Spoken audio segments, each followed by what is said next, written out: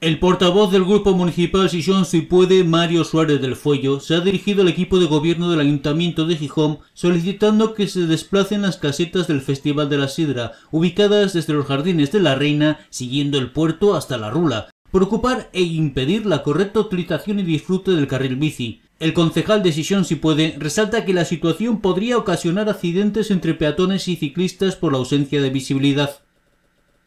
El compromiso de Sison si puede con el uso de la bicicleta en Sison le hace reclamar que se tenga en cuenta este tipo de transporte y sus necesidades, muy especialmente cuando supone un riesgo tan alto para los viandantes como para los ciclistas.